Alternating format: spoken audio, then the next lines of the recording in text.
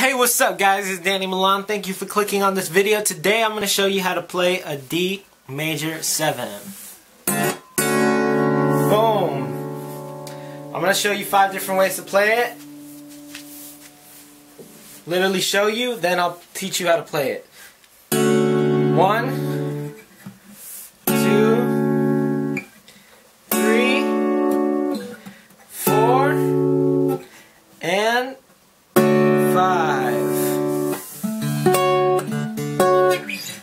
teach you how to play those five different ways of playing a D major 7. Your ind the first one is the easiest. Your index finger, well, the fourth one and the first one are the easiest. Your index finger is going to be barring the G, the D, or the G, the B, and the E strings on the second fret. And the only strings that are going to be played are the D, G, B, and E. So with your thumb, you can mute these top two strings. You can even strum. These are not going to ring out. If they did, it would sound weird. It would sound like this. Alright. Next one, right here. Your index finger is going to be barring the entire 5th fret from the A string down. Then your middle finger is going to be on the G string 6th fret. Your ring finger is going to be on the D string 7th fret. And your pinky is going to be on the B string 7th fret. Simple enough.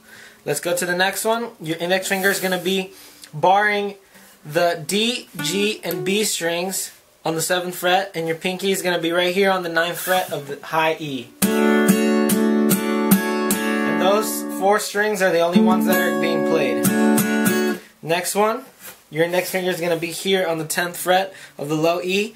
Your middle finger is going to be on the 10th fret of the B.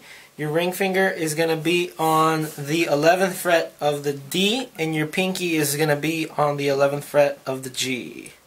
And you're going to be playing the B, D, G, and B.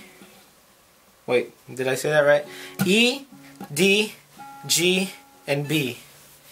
Alright, so you're going to be plucking those. Or strum it, strum it. If you can mute this one and this one, just strum it. Otherwise, just pluck it. Alright, and the last one is right here. Your index finger is going to be let me hold on. Let me get it right. Okay, yeah, yeah. That's how you play it. All right. So your index finger is gonna be on the D, or not on the D, on the G of the 11th fret. Your ring finger or your middle finger is gonna be on the A of the 12th fret, and your pinky is gonna be on the B of the 14th fret. And you're gonna play the A, the D, the G, and the B strings.